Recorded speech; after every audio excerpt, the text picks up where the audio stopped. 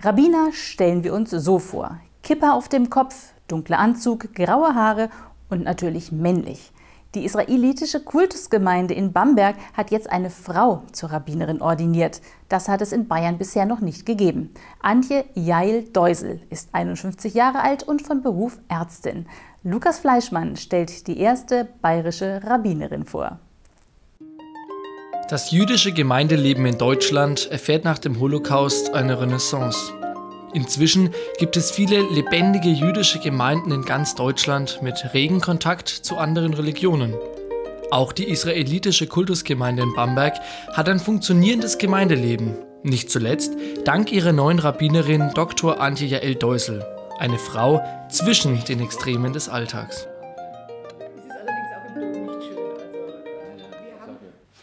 Ein ganz normaler Dienstagmorgen in der Urologie im Bamberger Klinikum. Antje Jael Deusel auf dem Weg in ihr Büro.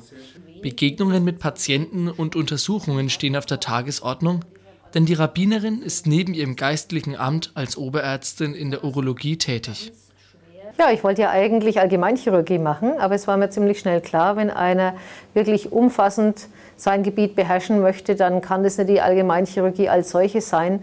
Sie sehen ja, man hat inzwischen auch Untergruppen eingeführt, Spezialisierungen, Subspezialisierungen in der Chirurgie und so war auch die Urologie ursprünglich ein in die Chirurgie eingegliedertes Fach. Und ich wollte ein chirurgisches Fach machen, aber ein sehr abwechslungsreiches, trotzdem so, dass man es beherrschen lernen kann, also auch überschaubar. Und das war für mich die Urologie. Der persönliche Kontakt zu Menschen ist Antje Deusel sehr wichtig. Sowohl als Ärztin wie auch als Rabbinerin ist Einfühlungsvermögen eine Grundvoraussetzung. Der Mensch steht für sie im Mittelpunkt, in geistlicher wie auch in medizinischer Hinsicht. Deswegen sind Medizin und Rabbinat auch keine Gegensätze. Beide Berufe sind interessant und so gegensätzlich sind sie eigentlich gar nicht. Wenn Sie sich eine, einen Kreis vorstellen oder eine Kugel und auf der einen Seite haben Sie etwas mehr von der einen Seite, auf der anderen Seite wird es dann schmaler, so wie dieses Yin- und Yang-Zeichen, dann sehen Sie, wie Medizin und ähm, das Rabbinat, wie das ineinander greifen. Ist das Ganze, dieser ganze Kreis, wenn Sie so wollen, das ist der Mensch. Antje Jael Deusel 1960 in Nürnberg geboren, studierte zunächst am Dolmetscherinstitut der Universität Heidelberg, bevor sie in Erlangen Medizin studierte.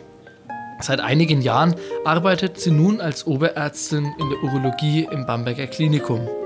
Der Gedanke, Rabbinerin zu werden, beschäftigte sie schon seit der Jugend. Zunächst einmal war das ein Jugendtraum. Das wollte ich eigentlich schon nach dem Abitur machen. Ich bin im Nachhinein sehr, sehr froh, dass das damals auch nicht möglich war für Frauen, dass es nicht geklappt hat. Denn ich denke, man braucht doch ein gerütteltes Maß an Lebenserfahrung, um diesen Beruf dann auch voll ausfüllen zu können. Und ja, wie habe ich kürzlich in einem kleinen Artikel für unsere alte Schulzeitung geschrieben, ähm, es gibt Leute, die erwarten vom Leben mehr als einen vollen Kühlschrank. Und so war das bei mir auch. Viele Jahre war sie zweite Vorsitzende der israelitischen Kultusgemeinde in Bamberg, bevor sie schließlich mit der Rabbinerausbildung am Abraham Geiger Kolleg in Potsdam begann. Antje Deusel ist die erste Frau im Rabbinat, die in Deutschland nach dem Zweiten Weltkrieg ausgebildet wurde. Mehrere Jahre pendelte sie so zwischen Bamberg und Potsdam. Vor ja, über zehn Jahren ist in Berlin bzw. Potsdam das Abraham Geiger Kolleg gegründet worden. Das ist ein nicht-orthodoxes Rabbinerkolleg, die auch Frauen annehmen und auch Frauen ordinieren, wenn sie mit dem Studium fertig sind. Mit diesen Erwartungen an das Leben fasste sie den Beschluss, Rabbinerin zu werden und trotzdem Ärztin zu bleiben. Der meist steile Weg erforderte Energie und Durchhaltevermögen. Kraft sammeln, die Natur genießen, der arbeitsintensive Alltag braucht einen Ausgleich. Antje Deusel findet diesen bei ausgiebigen Spaziergängen im Bamberger Hain. Ja, ab und zu habe ich auch einmal frei. Und äh, was ich sehr, sehr gerne mache, das ist Kochen zum Beispiel. Und dann habe ich auch zwei große Balkone, wo ich Kräuter ziehe und Gemüse. Und da gibt es auch Korbsessel, wo man sich reinsetzen kann zum Lesen. Also das ist ein Stück Natur für mich zugänglich von meinem, äh, von meinem Apartment aus. Aber ich bin auch gerne draußen in der Natur, also so wie jetzt im Hain. Das ist ja nicht ganz so weit weg von dem Ort, wo ich wohne. Und ähm, das ist ein sehr schöner Spaziergang, gerade runter an den Hainsee. Trotz der christlichen Umgebung fällt es ihr nicht schwer, die jüdische Lebensweise mit all ihren Facetten in den Alltag zu integrieren. Einschränkungen sieht sie nicht, eher neue Möglichkeiten.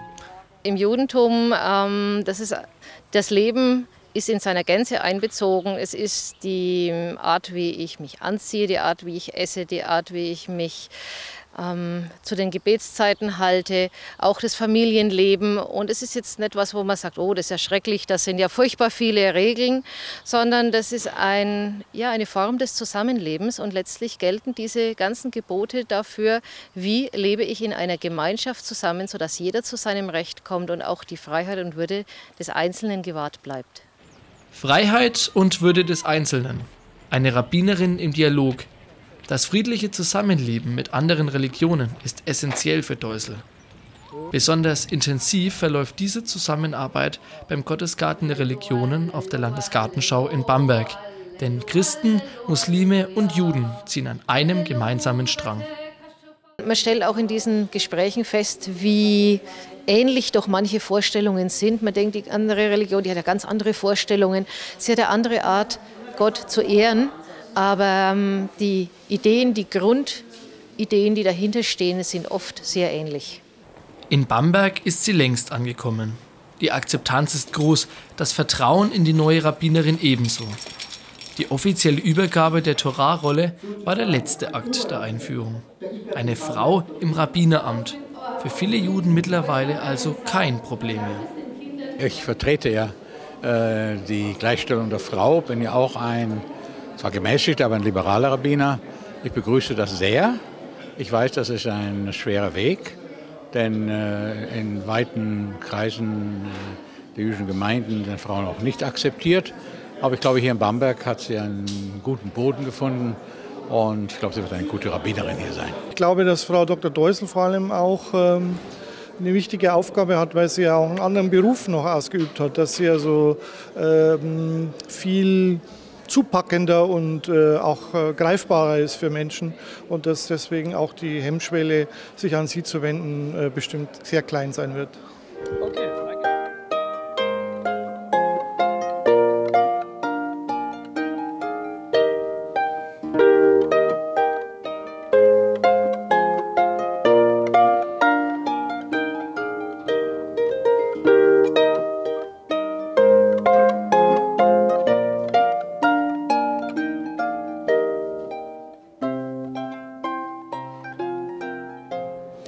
Die Amtseinführung war für mich sehr bewegend, denn es waren sehr viele von meinen Weggefährten da, auch von meiner Familie, von meinen Freunden, auch aus der Schulzeit, aus der Studienzeit, aus dem medizinischen Beruf und natürlich auch aus dem rabbinischen Beruf.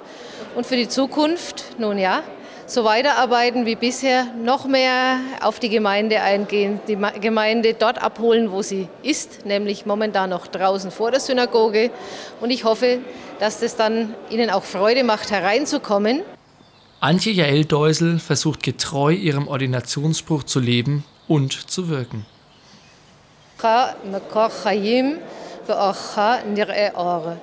In dir, o oh Ewiger, ist die Quelle des Lebens, in deinem Licht sehen wir Licht.